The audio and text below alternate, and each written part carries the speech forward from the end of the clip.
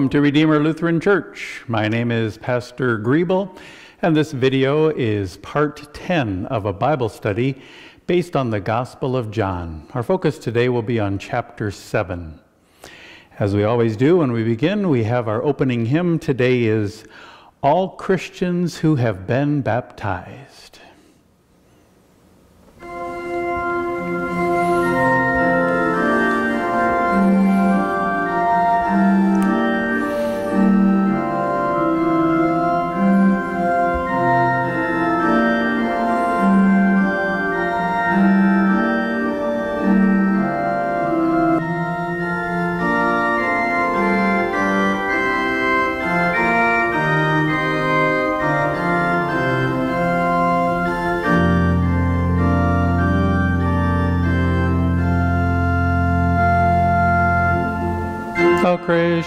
Christians who have been baptized, who know the God of heaven, and in whose daily life is prized the name of Christ once given. Consider now what Christ has done, the gifts he gives to everyone baptized into Christ Jesus. You were before your day of birth, indeed from your conception, condemned and lost with all the earth, none good without exception. For like your parents, flesh and blood, turned inward from the highest good, you constantly denied him. But all of that was washed away, immersed and drowned forever the water of your baptism day, restored again whatever old Adam in his sin destroyed, and all our sinful selves employed according to our nature. In baptism we now put on Christ. Our shame is fully covered with all that he once sacrificed and freely for us suffered. For here the flood of his own blood now makes us holy, right, and good before our Heavenly Father. And we turn to our opening prayer. Blessed Lord, you have caused all holy scriptures to be written for our learning. Grant that we may hear, read, mark, learn, and inwardly digest them that by patience and comfort of your holy word, we may embrace and ever hold fast the blessed hope of everlasting life through Jesus Christ our Lord. Amen. Okay, let's get right to our Bible study. As I said, today we're focusing on the seventh chapter of John. It's a good thing to have your Bible handy because we'll be referring back to specific verses as we go through our study. Once again, we're going to divide the chapter into two parts. We're going to look at the first part, which is verses 1 through 31, look it over, ask some questions, respond to some questions, and then take a look at the second half. So, starting then with John chapter 7, verses 1 through 31. After this, Jesus went about in Galilee. He would not go about in Judea because the Jews were seeking to kill him. Now the Jews' feast of booths was at hand. So his brothers said to him, Leave here and go to Judea, that your disciples also may see the works you are doing. For no one works in secret if he seeks to be known openly. If you do these things, show yourself to the world. for not even his brothers believed in him. Jesus said to them, My time has not yet come, but your time is always here. The world cannot hate you, but it hates me because I testify about it that its works are evil. You go up to the feast. I am not going up to fe this feast, for my time has not yet fully come. After saying this, he remained in Galilee. But after his brothers had gone up to the feast, he then also went up, not publicly, but in private. The Jews were looking for him at the feast and saying, Where is he? And there was much muttering about him among the people, while some said, He is a good man, others said, No, he is leading the people astray.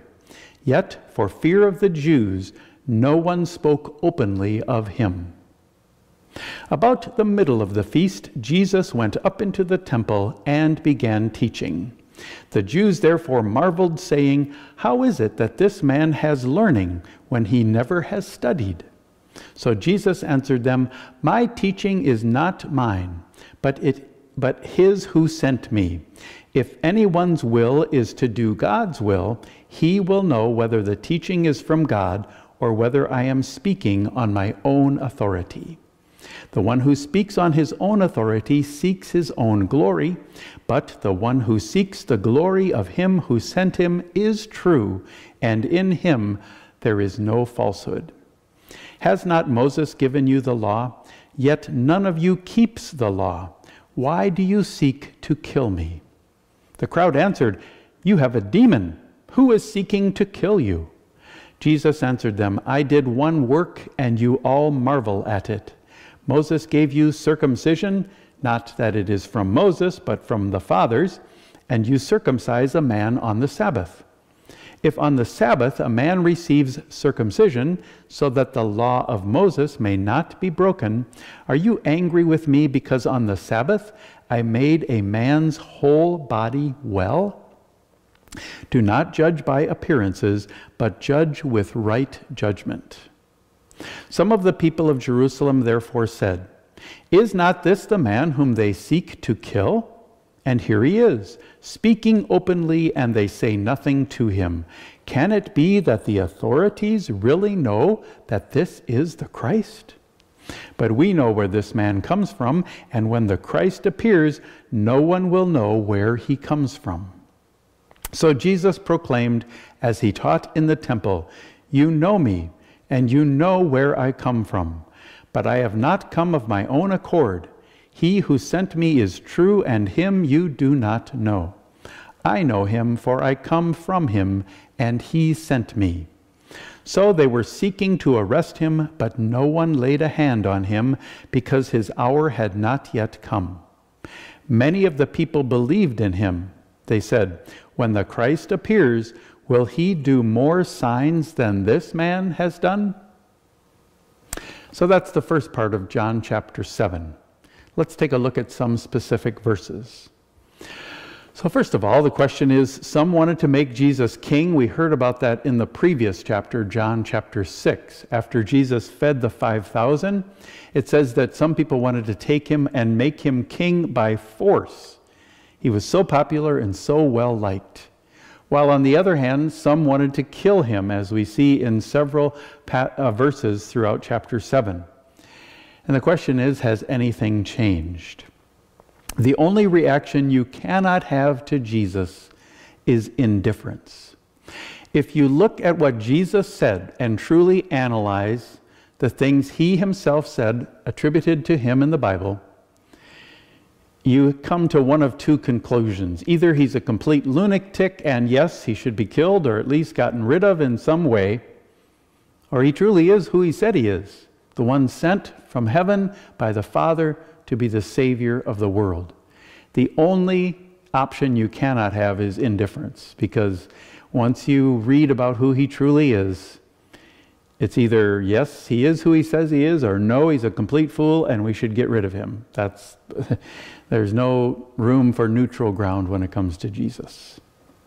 So this all took place at the Feast of Booths, as it called. And what did the Feast of Booths commemorate? It's also known as the Feast of Tabernacles because it was a feast to remind the people of Israel that they had lived in tents or tabernacles in the wilderness for 40 years. And especially to remind them that all the time they lived in those tents in the wilderness, God took care of them. And so it was a very important feast to remind them that no matter what situation they faced currently, that God would take care of them. If He took care of them for 40 years in the wilderness while they lived in tents, He would also take care of them anytime, no matter what situation they were in. And it's a good reminder for us as well that He will take care of us. So it also says they, they had this, this discussion about going up to the feast because Jesus was in Galilee, the feast was in Jerusalem and Judea. And of course, his disciples wanted to go because they were required to go. And Jesus said, No, I'm not going to go. And it says even that his own brothers did not believe in him. One of the reasons they were encouraging Jesus to go to the feast was so that he could continue to teach and explain that he truly was who he claimed to be. And then it makes this little comment that even his brothers didn't believe in him. So if he went to the feast, maybe he could even convince his brothers to believe in him. So the question then is what would you think if a prophet comes along today and he's really great and getting a great following and everybody says he's so great and and then you find out oh even his own family members don't believe in him well it might impact your opinion of that person if his own family doesn't agree and believe in him fortunately for Jesus we are told in the book of Acts then that eventually, after Jesus rose from the dead, and as the church began to be founded and expanded through the Holy Spirit and Pentecost, his brothers did eventually come to believe in Jesus. So then why did not why didn't Jesus go to the feast as he says my time has not yet come. He mentions that a couple of times which raises the but then he did go up anyway. So he says initially, I'm not going because my time has not yet come. And then he goes up anyway. Well, does that sound a little familiar to you? When else did Jesus say his time had not yet come and then he went ahead and did something anyway? Well, in his first miracle at the wedding in Cana of Galilee, uh, it's his mother comes to him and says they have no more wine, and his response is, "Dear woman, why do you involve me? My time has not yet come." And then what does he do? He goes ahead and helps the situation out by turning the water into wine. So it's kind of a similar situation here where initially he says, Nope, not going to do it. My time has not yet come. And then he goes ahead and does it. And so that's kind of what happened at his first miracle at Cana of Galilee. So Jesus says, The world hates me.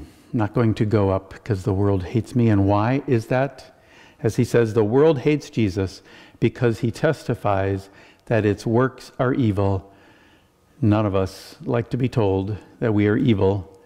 And Jesus, he wouldn't hold back. He would tell us today, tell the people back then, you're evil. You need to repent. You need to turn to me for forgiveness. And some people do that and confess by God's grace. We confess and believe in Jesus. Others, no way. I'm not going to confess my sins. I'm not going to admit I'm evil and admit that I need a Savior. So that's just the way it is. And then it says, so the feast started, and everybody's talking about Jesus. It's kind of like they're attending this event, which is supposed to be a big deal, but nobody's really paying attention to the feast that's going on. They all want to talk about Jesus, but they can't talk about him openly because they were afraid of the Jews. The Jews as had already said, Don't follow this guy. In fact, we're trying to get rid of him. We're trying to kill him, so don't follow him. And yet they were muttering around, talking, Who is he? Is he going to show up? They just couldn't help themselves talking about Jesus. But they didn't do it openly because they were afraid of the Jews. And then, what fact did Jesus' enemies want people to overlook by accusing Jesus of having a demon? Such a common tactic of the devil. When he gets pinned down, you try to pin him down on every, anything, he changes the subject and, and goes off on a tangent. And that's exactly what the Jewish leaders were trying to do. G- Jesus was pointing out to them, you know, you say Moses is your leader and the one you respect and honor from the Old Testament, but you're not really following his ways. And so that's again, Jesus was testifying that their deeds were evil. They were pretending that they were following the ways of Jesus, but Moses knew they were not when it comes, came to the Sabbath day and so many other things related to the laws of Moses. They weren't following Moses. So, what do the people do? Instead of saying, Yeah, Jesus, you're right, we probably should do a better job of following uh, Moses? No, they turned it and they changed the subject and said, This man has a demon.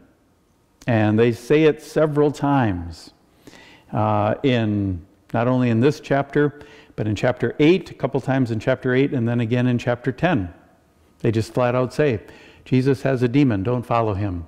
And they do that to deflect attention from themselves because they weren't truly following Moses. They didn't want anybody to expose them and their lack of following the laws of Moses. And then Jesus says, talks about judging. And the question then is, what about judging? Are we to judge others? We just let it leave it up to God. God is the one who judges, so we can just back off and not get into anybody's business. Well, what does Jesus really think about it? In verse 24, Jesus does not forbid all judging. He simply says, Do not judge based on appearances. So, some of the things Jesus was doing, like when he healed the man in the pool of Bethesda, and then told him to pick up his bed and walk, even though it was the Sabbath day, outwardly it looks like Jesus was breaking the Sabbath day, and they completely overlooked the fact that Jesus healed the man and did a great miracle for the man. So, uh, based on appearances, there were things that they could pick apart about Jesus because they never took the time to, to look and see what's really going on here. And the same, and the same is true when we come to judging. We shouldn't just judge on appearances, on the outside, external things. Let's make sure we know what's going on, maybe the hidden things that are going on that people are overlooking and that maybe we have overlooked. Don't just judge by appearances. And then when it comes to judging, also in Matthew chapter 2, this is what Jesus says For with the judgment you pronounce, you will be judged, and with the measure you use, it will be measured to you. Again, when it comes to judging, think about how you would like to be judged. And then consider that when you are thinking about judging others.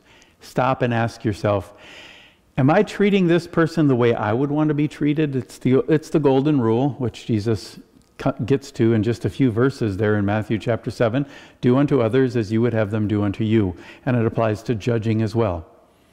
Not necessarily a blanket forbidding all judging, but keep in mind if you're going to judge people, think about uh, are you judging in the way that you would want to be judged? So again, this topic comes up about where Jesus is from. And they are all convinced he's from Galilee, and since he's from Galilee, there's no prophet that comes from Galilee, and certainly not the Messiah. And so that's another reason why they wanted to reject Jesus. Because for the Jews, it was very important where someone came from, especially if the prophets had told about it, that the Savior is coming and here's where he will be from. You know, they honored the prophets in that way. And as they looked at the prophets, it didn't add up that Jesus was from Galilee and claiming to be the Christ. And so it was very important for them. And it's still important today. When someone comes and he wants us to believe in him and follow him or her or whatever, we always, uh, you know, want to know where, where'd you come from? Where'd you get your education? Where'd you get your information? And so on and so forth before we really want to commit to following you. Same is true for the Jews. When it came to Jesus, they wanted to know where he was from. And then the question is who else wanted to know where Jesus was from? Well, during his trial before Pontius Pilate, Pilate asked the same question. It says in John chapter 19 Pilate entered his headquarters again and said to Jesus, Where are you from?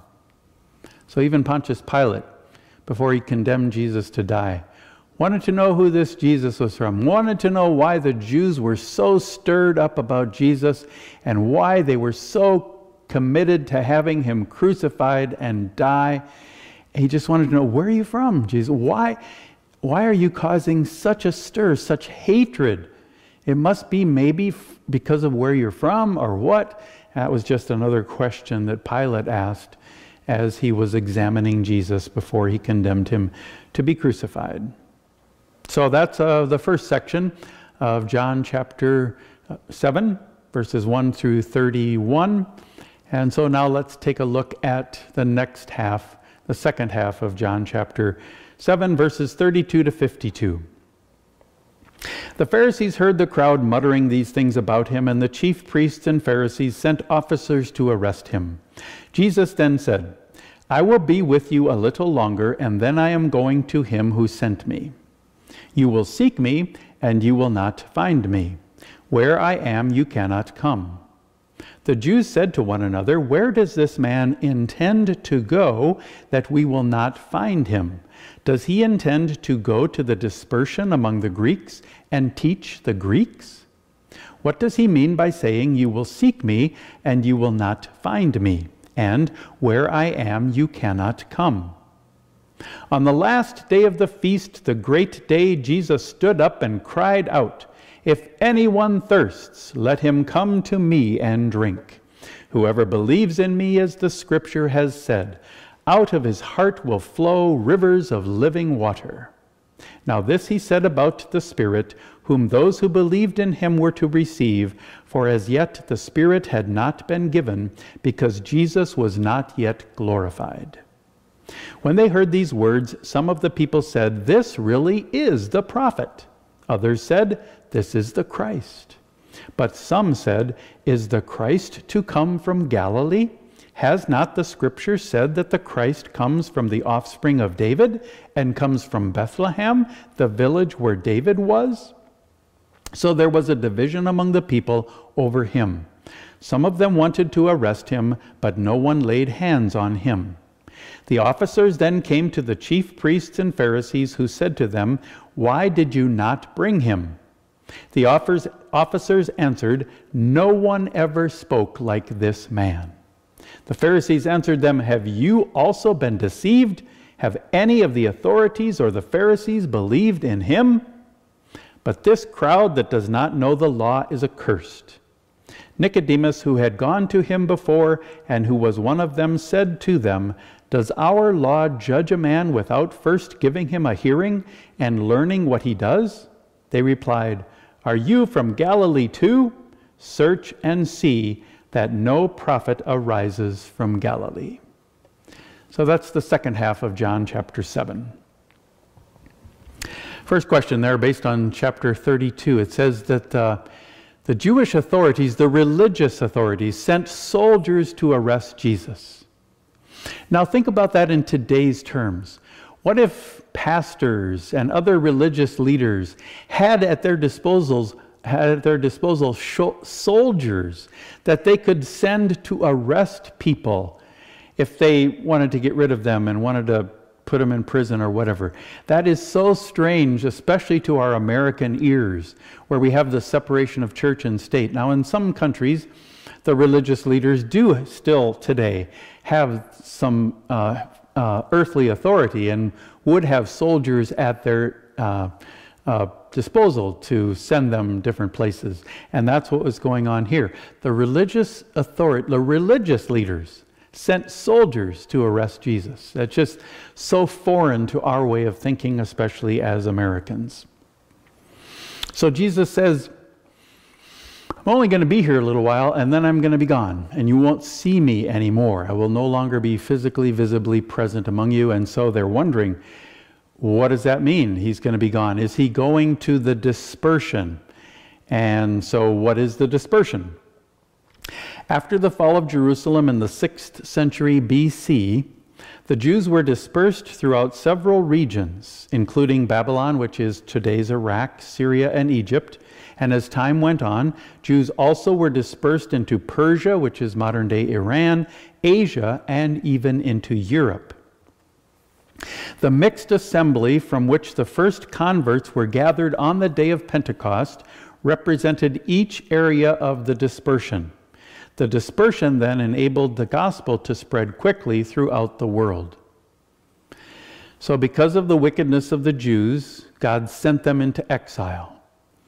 And they were literally spread throughout the world as the time went on, centuries went on. And yet, God had a plan because of the dispersion.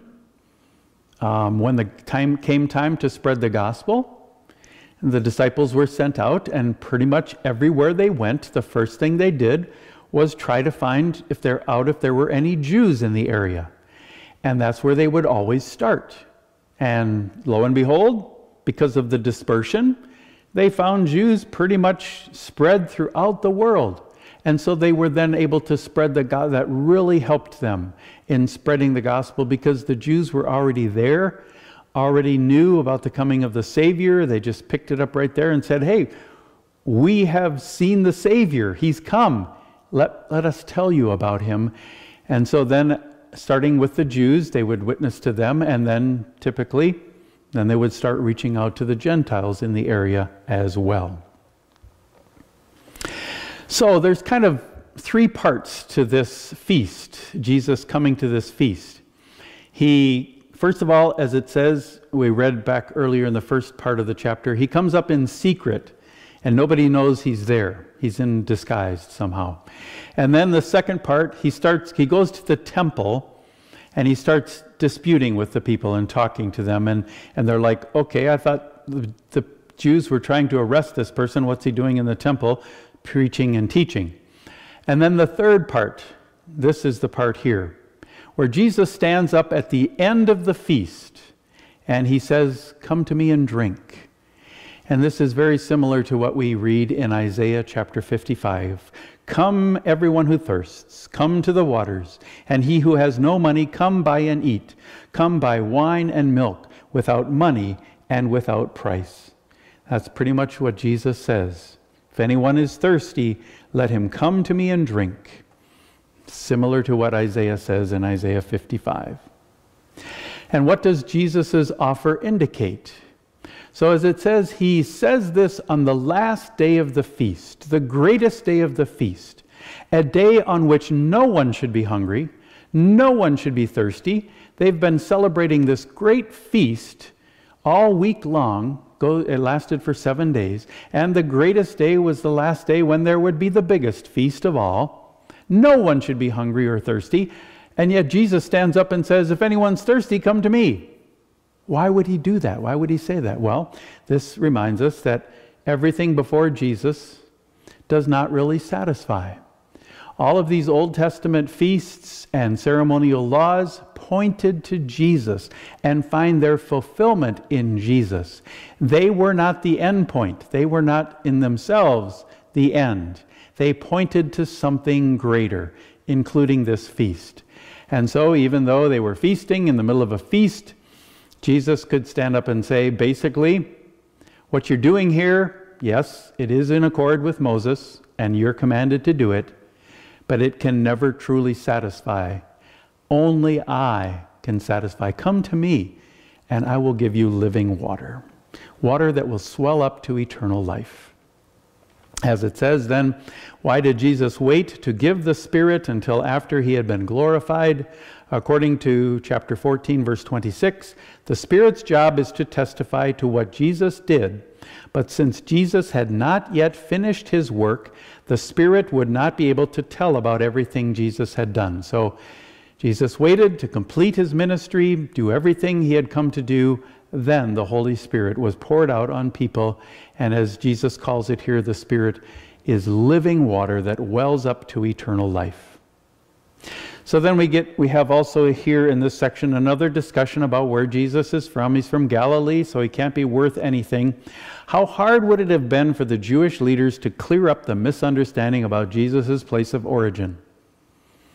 How hard would it have been to go and talk to his family? His mother was still there, but we don't know if Joseph was still there. And so this story may also be an indication and reminder that by this time Joseph had passed away. Yes, they could have asked Mary, but for many Jewish people, they would simply not rely on the testimony of a woman. That would not be considered proof if it just was something a woman had said. And so this is perhaps another indication that by now Joseph had died because they could have gone and asked Joseph. And Joseph could have easily told them. And since he was a man, they would have believed him. Yes, remember that census we had? Because of the census, we had to leave Galilee, go to Nazareth, go to Bethlehem, and it was in Bethlehem that Jesus was actually born. They could have cleared up that confusion with just some simple investigation, but they had already made up their minds. Jesus was from Galilee. No prophet comes from Galilee, so we're not going to believe him.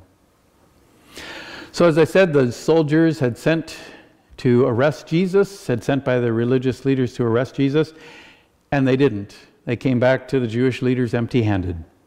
Why? Because they had, as they said, they had never heard anyone speak like Jesus. Still today, there's no other message, no other person like Jesus. And he is truly the Savior.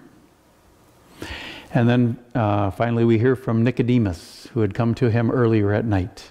What important aspect of Jewish law does Nicodemus point out? We don't condemn someone until we first give him a hearing. And that was Jewish law. But here they were already condemning Jesus before they gave him a, a, formal hearing. And this is a biblical law that was, until social media came along, that was an important element of Western law.